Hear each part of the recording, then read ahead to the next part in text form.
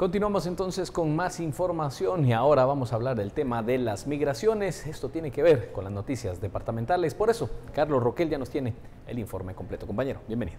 Gracias, William. Efectivamente empezamos con este tema y es que precisamente varias personas están haciendo un peregrinaje hacia los Estados Unidos y precisamente 27 personas de El Salvador que van con la peregrinación por los migrantes llegaron a Quetzaltenango tomando en cuenta que la ciudad altense ha albergado a miles de personas cuando viajan a los Estados Unidos.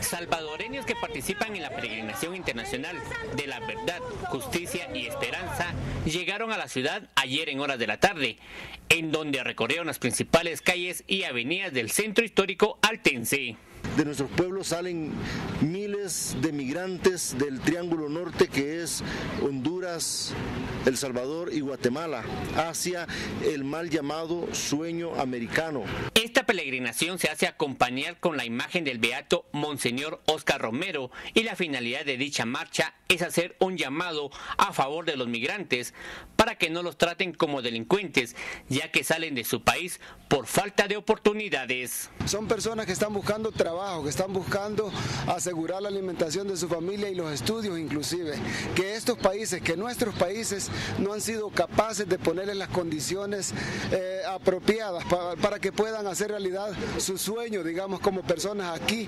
La peregrinación inició el pasado 14 de abril en El Salvador y llegará a Los Ángeles, California, Estados Unidos, el próximo 14 de junio, aseguran participantes. Por Una Guatemala en Paz, Oscar de Dion. En Baja Verapaz, los alcaldes y la sociedad civil mostraron su descontento con los nombramientos de personas de fuera del departamento en cargos públicos.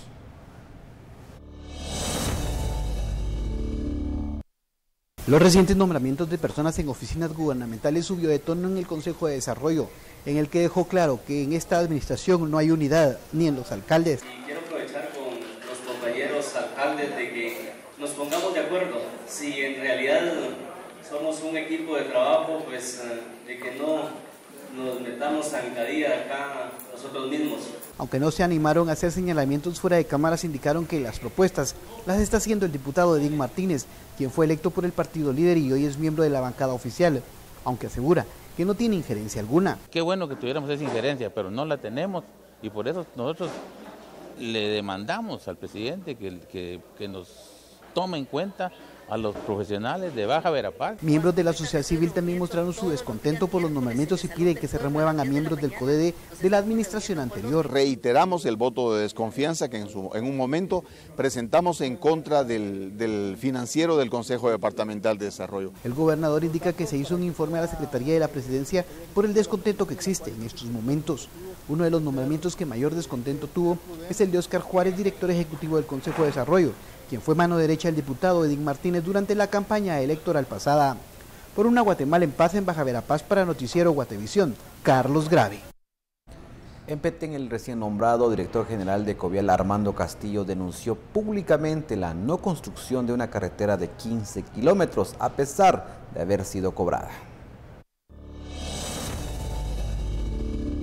El costo fue de alrededor de los 41 millones de quetzales de una supuesta carretera que sería construida en el municipio de San Luis Petén durante el gobierno de Álvaro Colón. Armando Castillo visitó la zona en donde no existe ni un solo kilómetro de asfalto. Y verdaderamente nos quedamos sorprendidos porque esperábamos nosotros encontrar una carretera eh, que se hubiera arruinado o que hubiera tenido algún, algún problema por el, por el clima. Realmente aquí no se hizo eh, no se regó ni un metro de, de, de asfalto. La empresa ejecutora del proyecto, el cual fue cobrado pero nunca se inició, será denunciada ante los órganos jurisdiccionales, según Castillo. La empresa contratada para realizar estos trabajos es la empresa Concarsa. Esta empresa eh, cobró 41 millones, como lo dice ahí, por hacer un trabajo que no hizo. Eh, la ley nos, nos dice a nosotros que lo que tenemos que hacer es poner esto a disposición de eh, las autoridades competentes. Armando Castillo hizo un llamado a los congresistas a trabajar de la mano por el bien del país y que este tipo de actos de corrupción no se repitan por una Guatemala en paz. Para Noticiero Guatevisión con imágenes de Lester Carvajal reportó Marvin Juárez. y vecinos de cinco comunidades de Chiquimula se han visto seriamente afectados y denuncian a una empresa constructora que a pesar de haber cobrado más de un millón y medio de quetzales, no construyó un puente.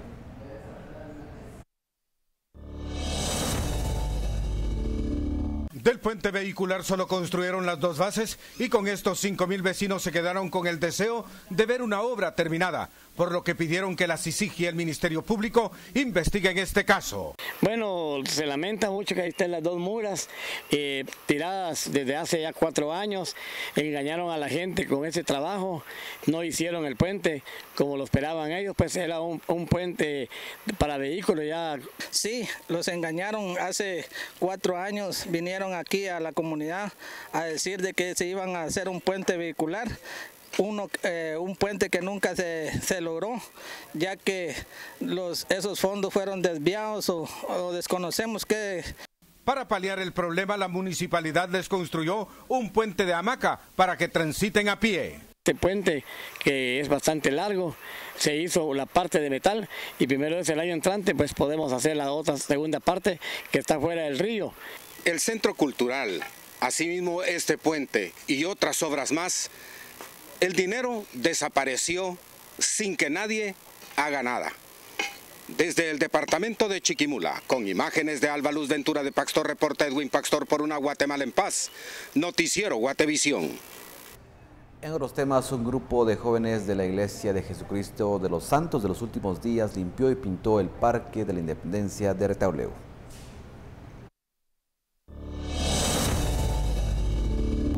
En la actividad, que también fue apoyada por representantes de la sociedad civil, recolectaron varias toneladas de basura. Es el primer año que se realiza. Jóvenes aquí de Retauleu, quienes desde siempre se les ha promovido el valor del servicio, del ornato, de la limpieza, en todo aspecto, tanto personal, la apariencia personal, en el hogar como en la comunidad también haciendo de nuestro entorno un lugar más agradable, más cómodo para vivir para toda la comunidad. Representantes de la sociedad civil comentaron que se habían hecho solicitudes a la municipalidad para que enviaran una brigada de limpieza al sector, pero que no les hicieron caso y el parque está totalmente olvidado. Desafortunadamente pues no hay atención de parte de las autoridades eh, correspondientes. Entonces ellos en un afán de proyectarse a la comunidad y también que los jóvenes sientan eh, el eh, valor de colaborar, están eh, llevando a cabo esa segunda actividad. El lugar donde se llevó a cabo la jornada de limpieza es un sector olvidado por las autoridades municipales, a pesar que está en el centro de la ciudad. Por una Guatemala en paz, Jorge Tizol. Hasta aquí las noticias departamentales William. A las 6 de la tarde nuestros corresponsales tendrán más informes de los departamentos. Muy bien, Carlos, estaremos pendientes entonces de estas noticias. Así que ustedes los invitamos 6 de la tarde en la emisión regional de Noticiero Guatevisión. Vamos a cambiar de tema de inmediato, vamos a los deportes. Destacamos que el Deportivo Malacateco derrotó en condición de visitante a Escuintla y tomó ventaja en la serie por el repechaje de la permanencia en la Liga Nacional.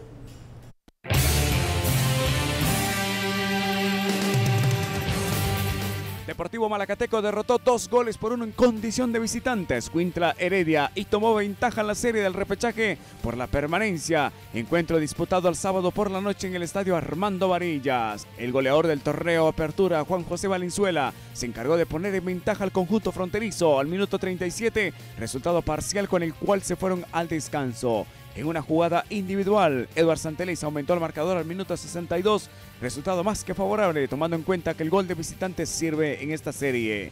En la táctica fija, el recién ingresado Jonathan Valenzuela descontó para Squintra al minuto 67, pero el marcador ya no tuvo más movimiento. Maracateco llegará con una ventaja al juego de vuelta el próximo domingo. Con un empate se mantendrá un año más en la Liga Nacional. Squintra, por su parte, necesita ganar con dos goles de diferencia para volver al máximo circuito.